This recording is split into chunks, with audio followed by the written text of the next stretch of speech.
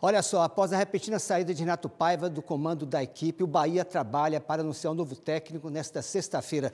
Dois brasileiros são os favoritos à vaga do português. Quem será o novo técnico do Bahia após pedido de demissão de Renato Paiva? Dentro do clube, a prioridade é que seja um nome brasileiro.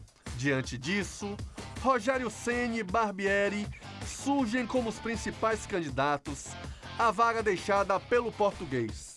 Enquanto ninguém é anunciado, o interino Rogério Ferreira segue conduzindo os treinamentos do time, que na próxima quinta encara o Lanterna Coritiba, fora de casa. Para essa partida, o tricolor não terá o zagueiro Vitor Hugo, que deve ser substituído por Gabriel Xavier.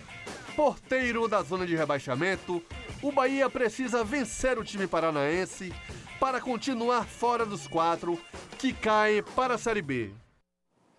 Pelo Sub-20, hoje à tarde, no estádio de Pituaçu, o Tricolor derrotou o Pague Menos por 3 a 0 e se classificou para a próxima fase da Copa do Brasil da categoria.